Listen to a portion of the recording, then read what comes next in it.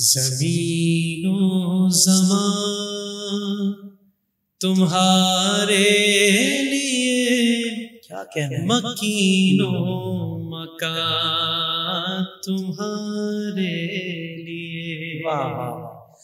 जमीनो जमान तुम्हारे लिए मकीनो मकान तुम्हारे चुना सुभान अल्लाह। तुम्हारे लिए बने दो जहाँ तुम्हारे लिए। क्या बात है क्या बात।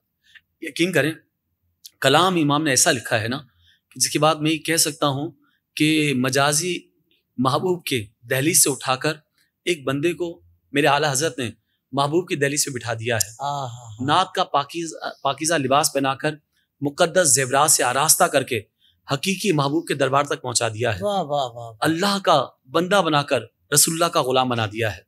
क्या बात है फरमाया कि ज़मीन जमा यानी ये ज़मीन और ये जो जमाना है ठीक है। सब कुछ मकीन यानी रहने वाला और ये मकान जो जर्फ है इसमें जर्फ।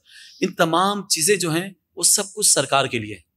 चाहे ज़मीन हो या जमाना हो मकीन हो या मकान हो या चुनीनु चुना हम्म, ये लफ्ज जो है हमारे मुहावरतन बोले जाते हैं भाई चुनीनु चुना। मतलब ऐसा वैसा हर शे।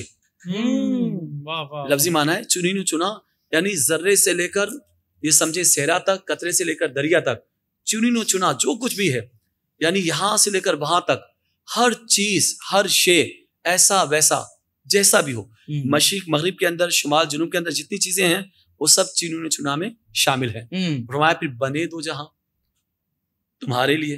तो आका ये दुनिया को बनाया आपके लिए।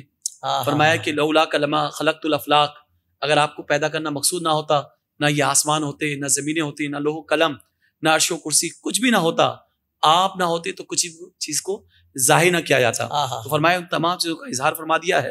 गोया पूरी कायनात को बनाया आपके लिए और आपको खास कर बनाया। अल्लाह ने अपनी रजा की खातिर। आपकी खातिर बनाए दो जहाँ। हम्म, अपनी खातिर जो बनाया आप हैं। आप है। सुहान अल्लाह। सोशल मीडिया पर इस्लाम की सही तालीमात जानने के लिए अभी हाफिज सायर खादरी का नया YouTube channel Islamic digital studio subscribe कर लें। और हाँ नोटिफिकेशन बेल आइकन को भी प्रेस कर लें ताकि हमारी नई वीडियोस आप तक बर वक्त पहुँच सके।